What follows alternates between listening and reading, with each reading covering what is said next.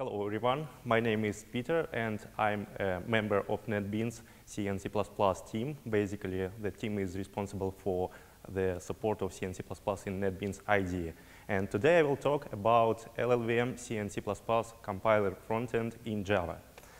Uh, but today's agenda is as following. First, I will say a couple of work, uh, words about Clang itself. Clang is a C++ frontend, it's the name of the frontend, why we decided to port it, how it was done, what challenges we faced, and of course, um, I will share some outcome which we had at this, have at this point. So Clang. Clang is a C++ frontend. Uh, in fact, it supports not only C and C++, but also Objective-C, but that's irrelevant for us. Uh, it's a part of an LLVM project. It supports all modern standards, and the key features uh, from our point of view, because we are IDE developers, uh, is that it was designed in a highly modular way. Uh, so we can adopt it step by step if we decided to uh, port it. And of course, it was designed uh, with that thought that it later can be used as a provider of code assistance. Uh, by code assistance, I mean completion, navigation, highlighting, etc.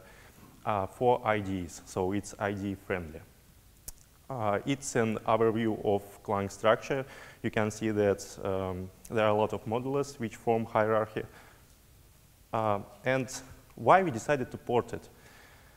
Uh, back in the days when the new standards like C++ 11 and 14 uh, were about to be released, uh, we uh, faced a couple of issues with our existing coding model.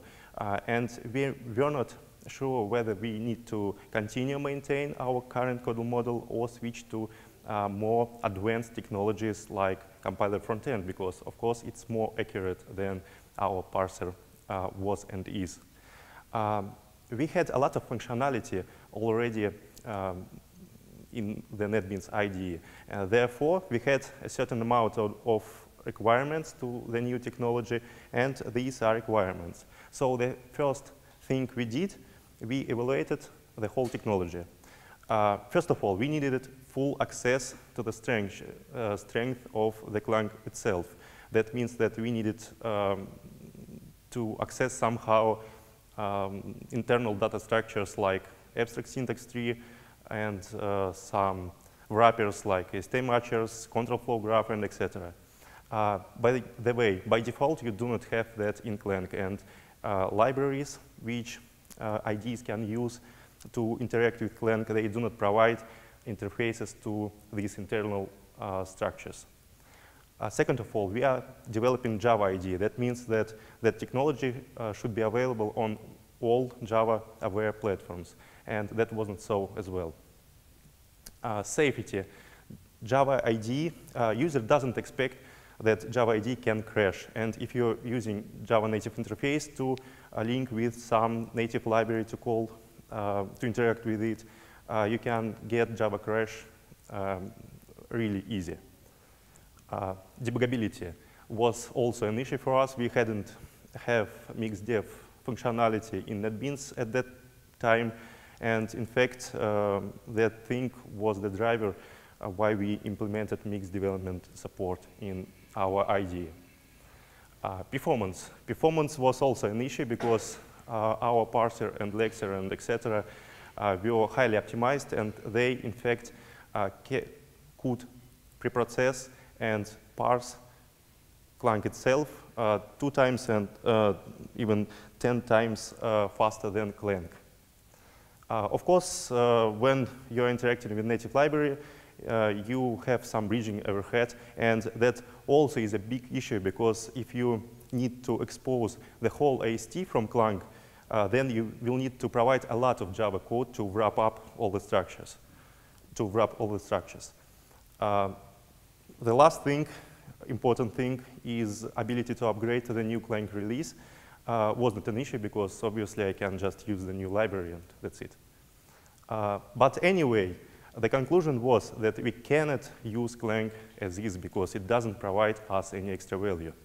But if you will look at this picture from the Java point of view, uh, if you imagine that the whole technology is available in Java, you will see that the most of the problem are gone.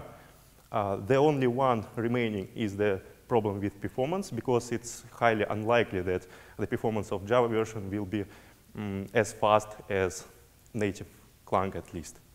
And of course, we introduced uh, the problem with upgrade because now we cannot just uh, replace the library. So we decided to port it, and the name of our port is Clank. It's the synonym of Clang, but with K at the end. Yeah. Uh, uh, we wrote our own converter, which was based on Clang because we weren't satisfied with the ones available on the market at this moment. And uh, in, in, fact, that um, was a funny thing that we wrote it uh, using the Clang itself. Therefore, we had an opportunity to investigate the technology um, deeper than we uh, did it when we were evaluating the technology.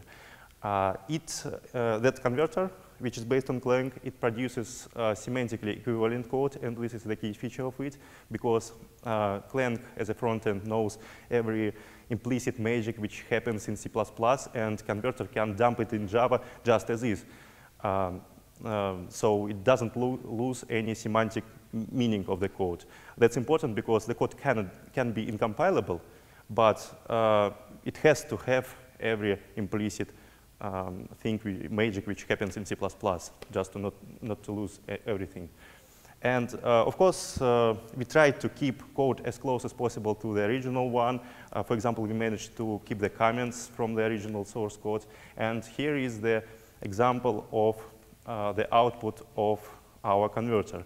As you can see, if you take a closer look at the left part of the screen and the right part of the screen, there are not so much differences in it.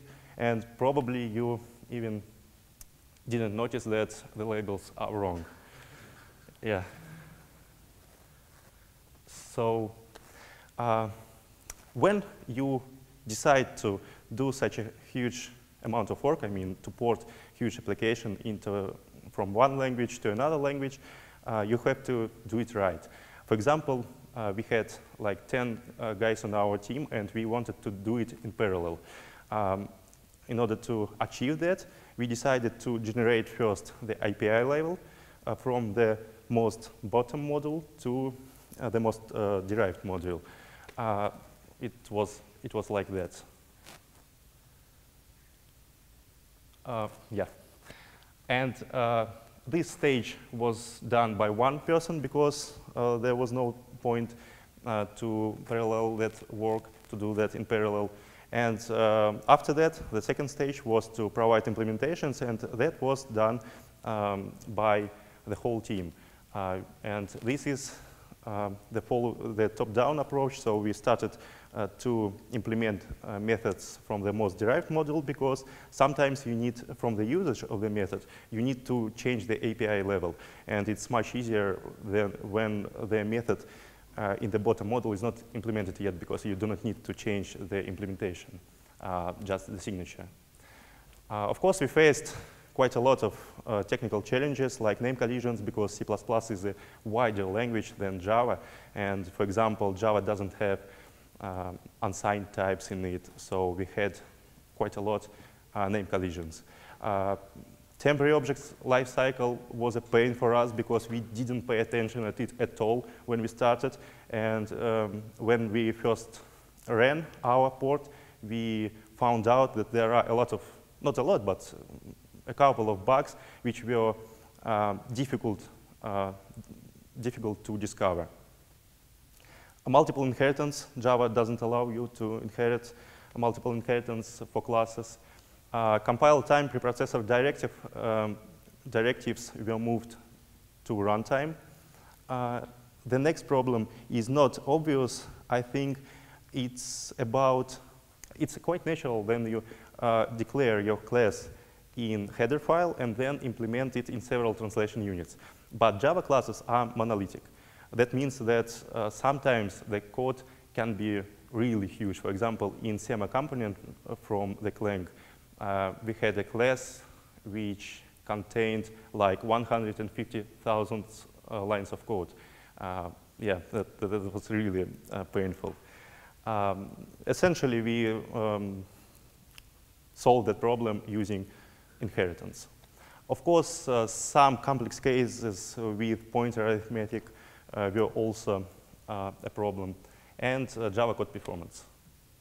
But all of them are solvable. Um, here I have a couple of examples, like when you have multiple inheritance, uh, you can do the following. You can split your class into interface and special dedicated class, which uh, encapsulates all the fields from the original class. And then you can do it for every class. And the derived class, it just implements uh, multiple interfaces and holds the references to these dedicated classes for fields. I uh, won't deep dive into details here because I have no time.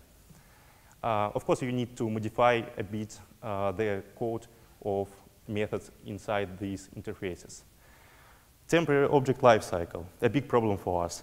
Um, uh, here you can see that inside the if expression, um, the AAA uh, class is created, and uh, from the AST on the right side, you can see that there is uh, this node, this node expression with cleanups. It says that there are temporary objects inside and you have to uh, destroy them um, at the right point of the execution.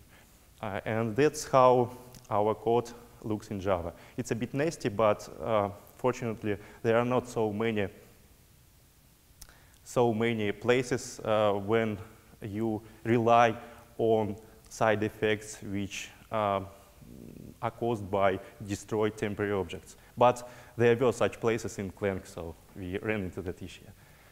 Uh, the major problem was upgrade, upgrade because uh, now we have everything in Java, and we weren't sure how to, how to provide a new version of Clang.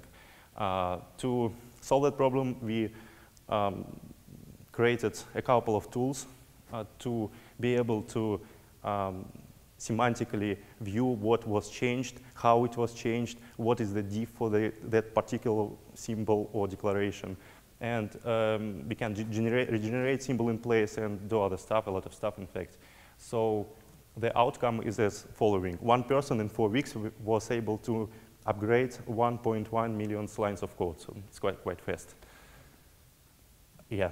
Uh, the results, what we have at this point. We have a C and C++ front-end in Java, which provides us with AST. Uh, here you can see on the left part the AST uh, built by native tool, and on the right side, AST built by our tool, and the only difference um, are in hash codes, quite predictable. Uh, it provides us control flow graph, so we can do uh, some advanced checks uh, provides diagnostics, obviously, because it's a compiler. It can provide errors, warnings, and etc. Um, and uh, also, there are quite a lot of tools, even inside the LLVM project, which were built on top of the Clang. So technically, we can port them. Uh, and in fact, we are doing it right now for Clang Tidy. So we can incorporate them into the NetBeans as well. Conclusion. Conclusion. Um, C++ conversion to Java is possible. We done it for Clang. Uh, now our project has 1.6 million lines of code. In fact, it, it's already 2 million lines of code because uh, with converter, that process uh, is going fast. Uh, it sometimes may be even 10x slower than native code, uh, but after optimizations, uh, you, you usually have the same or even better performance because of JIT, which can um, compile your code onto uh, using the profile, no, runtime profiles. Um, so yeah, it, it, Java is doing great job here. And um, uh, in, to prove that uh, this actually works, I can share with you that uh, the knowledge that preprocessor is already included in NetBeans IDE, and in fact, switch between our own preprocessor and Clang preprocessor was seamless Uh, for users. Thank you.